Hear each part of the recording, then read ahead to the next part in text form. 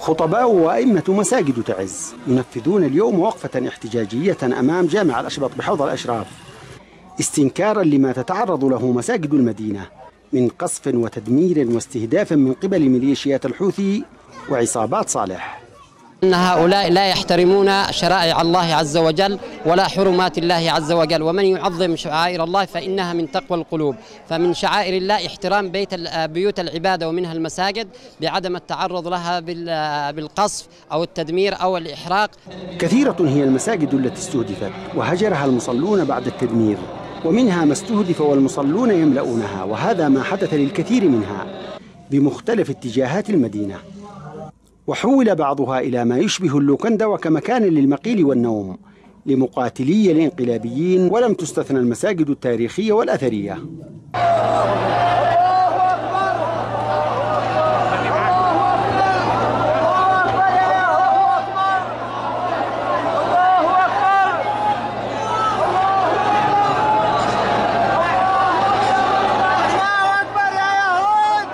أصول هذه الجماعة وأن أجدادهم السابقين لم يبقوا في اليمن لا معلما حضاريا ولا مسجدا قديما إلا واستهدفوه بالدمار.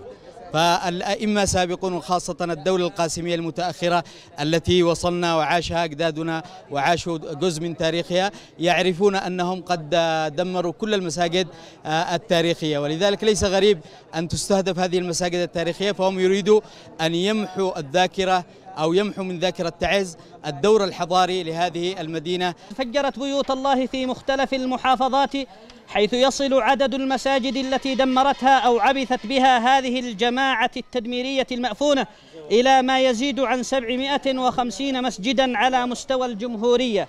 منها 52 مسجدا بمحافظة تعز وحدها. ما يزيد على ألف جامع فجر أو قصف على مستوى اليمن.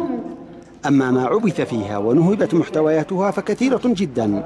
من قبل الميليشيات التي تدعي كذبا وزورا أنها تقود مسيرة قرآنية. ثبت أنها ضد بيوت الله وقرآنه وخلقه وكل القيم والمبادئ التي أمر الله بها بل وخلق الإنسان من أجلها.